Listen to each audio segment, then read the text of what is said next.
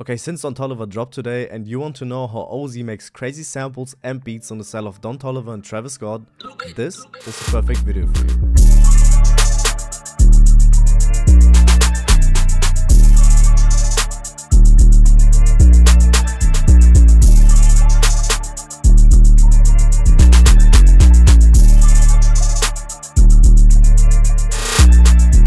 Guys, up and welcome to another tutorial. Today I'm going to show you how OZ makes crazy samples and beats in the style of Don Toliver and Travis Scott. It's a very like ambient and unique sample I would say. And you have already heard it, the beat is crazy. And I'm going to break down the sample and the beat. So yeah make sure to watch till the end. But first of all I'm going to break down the sample. And the way I'll do it is I will show you the pattern first or like basically the sound then the pattern. Then I will preview the pattern and show you how I mix these sounds. Then after that I will show you my mastering chain for the samples and how I like structured the sample. Because it has a few different parts and then after that I will show you how I made the beat so show you all every single drum pattern and how I like played with the sample. So make sure to watch till the end and don't miss the beat breakdown. And if you want to level up as a music producer make sure to check out the link in the description. There's my own website which is called Lukaland and my new Starstruck kit is out right now. It's a crazy crazy kit and it has over 500 sounds. So if y'all want to get it make sure to use code Starstruck for this one. I would highly recommend it to y'all. And don't forget to like subscribe and to comment. It would really really help me. And I don't want to make it into too long. So yeah guys let's go. So I started off with the Genesis one shot kit from Base One and Pilgrim and I used this mallet right here. I put the mode on auto and I pitch it down by one whole octave and the envelope looks like this. Y'all can just replicate like the settings or like copy the settings. And then what I did for the pattern it's a very boring pattern but with the effects it makes sense. And as you can see I basically just laid down one simple two bar pattern. And as you can see I just laid down a very simple two bar pattern and then just copied it over the whole time because that was more than enough and the effects did its thing. And I randomized the velocities which you can do with Alt and R I strummed some notes as you can see right here which you can do with Alt and S. And that's all I did for this pattern. And then after that I rendered it out as you can see right here put it on another mixer track. But I'll show y'all the rendered out version first and then show y'all these effects. So first of all this is the rendered out main melody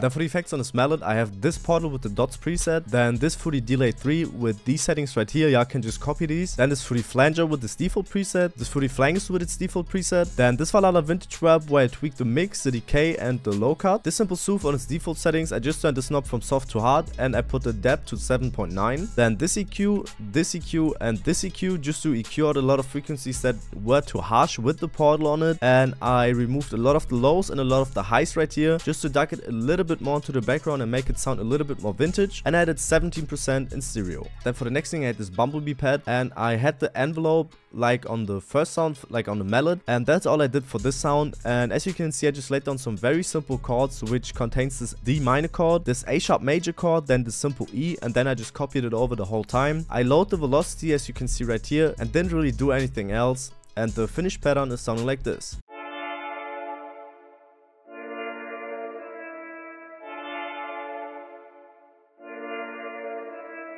Then for the effects on this pad, all I had on there was this Valhalla vintage verb with these settings. I had the mix to 82.5%, then the decay to 1.64, the pre-delay to 1.22, and the low cut to 950 Hz. And I had this EQ where, as you can see, I EQ'd out a lot of frequencies from the mid frequencies or like the lower mid frequency. And I appended 25% to the right and had it 12% in mono. Then for the next thing, I had this key mallet. And as you can see, I played with the envelope. I just basically put the attack to 8% and the attack tension to minus 66%. So the wave or like the curve looks like this. And because the attack was a little bit too harsh for this type of sample or like for the sound I was going for. And as you can see, it's just a very simple pattern. It's just there for some ear candy. So people have something to listen for in the background. And that's all I can really explain. It's basically just this D, another D, then an F to an A. And the ear candy pattern or like the ear candy thing sounds like this. And then for the effects on there, I just have the simple RC20 just for the wobble and the EQ and the tone. Then this for the delay, as you can see, I put it on the ping pong option and I put the pan to minus 100% and the time to 2.0. Then this Valhalla vintage verb where I tweak the mix, the decay, the low cut and the pre-delay. This EQ and this EQ just to remove some of the like harshness of the sound and to cut out a lot of the lows and dark some of the highs. And I panned it 56% to the left. Then for the next thing, I had this 44 Jupiter 8 key. And as you can see, I didn't play with the envelope at all. I just put the mode multi stretch. And as you can see, it's a very simple pattern again. It's basically in D minor chord, but I tried to replicate like a simple delay with this with these A notes because I went down with the velocity as well. And then I just copied it over and this simple chord with the delay effect is sounding like this.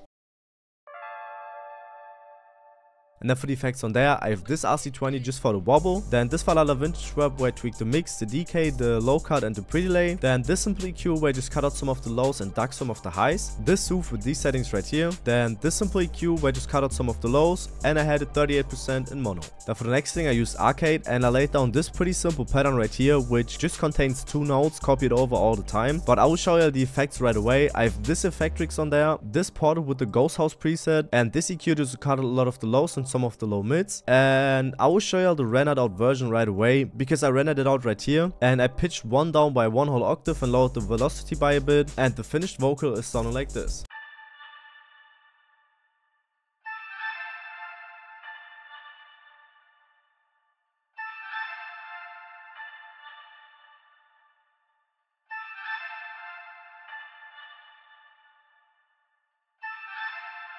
And for the effects on the rendered out vocal, I have this Fruity Delay 2 with these settings right here. This Valhalla Vintage Verb where I didn't tweak the mix, but I tweaked the decay, the pre-delay and the low cut. Then this EQ where I cut a lot of the lows, mids and highs. And this EQ where I cut a lot of the frequencies that I didn't like, like heavily. And this simple soothe on its hard setting and the depth to 5.9 just to remove some more of the harshness. And that's all I did for the vocal effect chain. Then after that, I have this whistle synth from XY Nothing I think. And I turn on this envelope, played with the attack again and put the mode to stretch, put the SMP start to 13% and the declick mode to generic. And as you can see, it's a very simple pattern as well. I, ba I basically have this A sharp 4 and this A4. Then I just copied it over and then I have this F and this A again just to get some variation in the sample. And as you can see, I basically just copied it down, but I load the velocity as you can see. And this counter melody is very ambient and it adds a lot to the sample, but it's very simple and it sounds like this.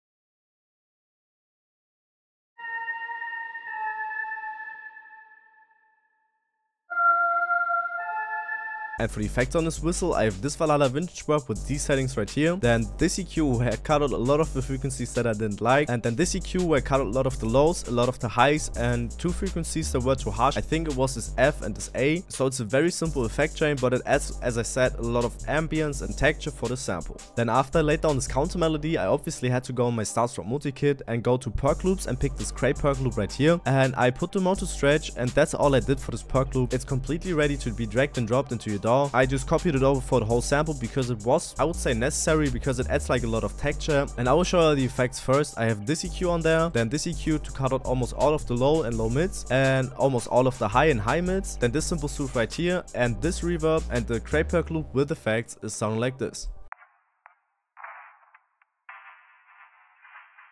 Then for the bass line, I have this 5-string bob bass, and I don't know from which kit it actually was. I think it actually, as you can see right here, it was from the FL Studio, like, legacy pack, and I just laid down this D and A sharp, which was the root notes of the sample, and I randomized the velocities to make it sound a little bit more realistic, and before showing you all the mastering effects, this is the bass line.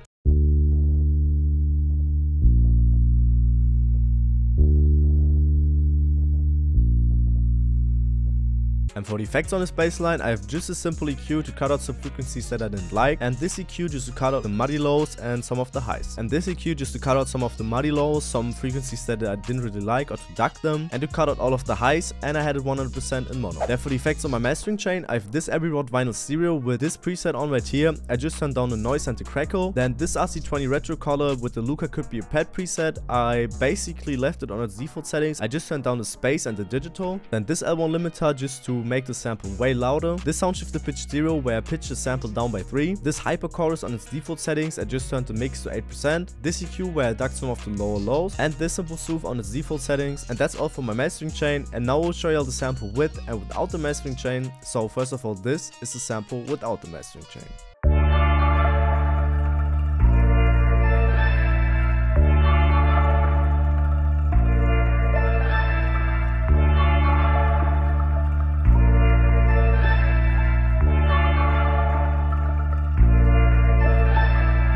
And now this is a sample with the mastering chain.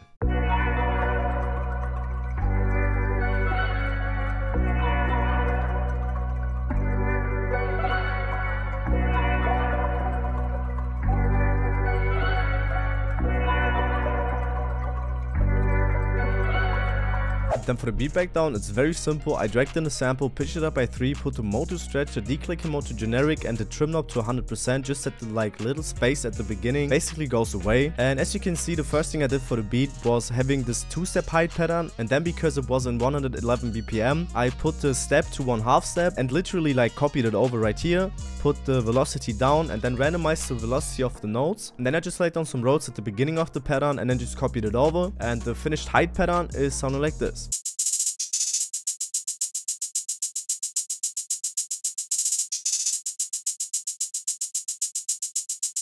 Then I used the Luka Late Night clap out of the Starstruck multi-kit, which you can see right here. And I laid down this pretty simple pattern. I just tried to create like a bounce with it and I load the velocities of some of these notes as you can see. And the finished clap pattern is sounding like this.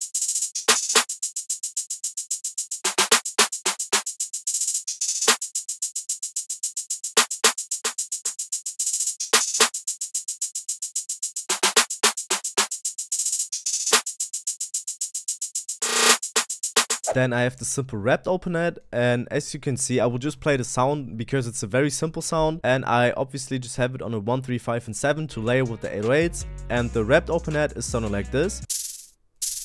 And then I have the most important part, which is the 808 pattern. And as you can see, I tried to stay in the D and A sharp range because that's the root notes of the sample. I obviously switched it up right here and right there because I tried to get some variation in the beat. And I load the velocity of some of these notes just to make the beat sound more interesting or like the pattern to be more interesting. And that's really all I did. I just freestyled this 808 pattern and tried to see what sounds good and what didn't. So I ended up with this pattern. And as you can see, it's a very simple structure right here. I basically have the drums at the beginning so the rapper can imagine how the beat will sound when it's like in the hook part or like the main part. And then I have like a little intro right there my tag. And then it's basically just the hook of the beat the verse the hook the verse and the hook again and then like a little outro. And that's all I did for this finished beat. And the finished beat is sounding like this